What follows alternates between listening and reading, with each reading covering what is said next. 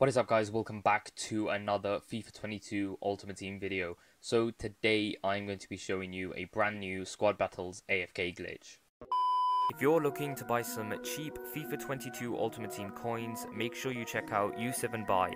The transactions are safe and you will receive your coins within a blink of an eye. Make sure you use code Kay at the checkout for 5% off.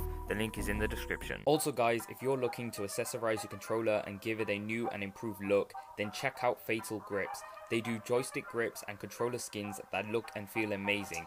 The grips and skins come in an array of different colors and styles to choose from. And use the code KAYN10 to get 10% off at the checkout and the link will be in the description.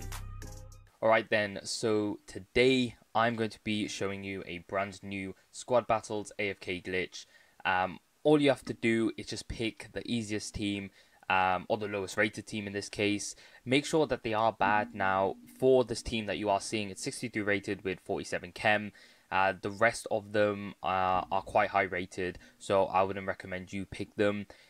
Like in my last um, AFK glitch, the team that I did pick was quite high, um, but in this case, it just doesn't work. I think they've patched it so you can't use high rated teams for certain squad battles, A- well, AFK glitches. So in this case, it doesn't work uh, for higher rated teams. But as you can see, you know, 84 rated, etc. I'm going to be p- uh, picking the 63 rated because it's the lowest one. Um, yeah, as you can see, this is the squad. It's a full bronze team. Now, it only works on world class difficulty, doesn't work on professional, below, uh, or legendary and above. Only works on um, world class. I'm going to quickly put a contract on Baggio, go into the match, um, and obviously pick a side. I'll pick the kit, sorry, pick a side. I'll probably pick my Manchester United kit for this so it doesn't get confusing. I am the Manchester United kit, and obviously they are Inter. So, world class difficulty, six minutes uh, should go. Oh, I accidentally pressed B. Uh, was it Manu kit and Inter?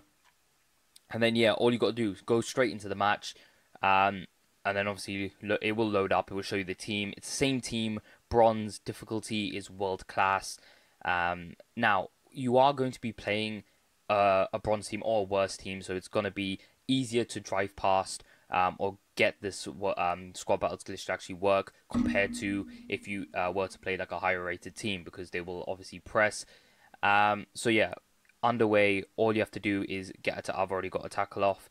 Um, now you want to get it towards the corner flag of the opposition, and then you want to fake shot with uh, fake shot, press LT and RT, uh, hold it together, and then let go after two seconds. Now, this is actually surprising because it worked the first time. Normally, it takes me two or three goes to actually for it to work. Um, I did do a th- top three squad battles AFK uh, glitch video ages ago, and it just didn't work for me. But now um, I've got the hang of it and I know how to do it. You before I didn't actually fake shot, and fake shotting is key for this AFK glitch.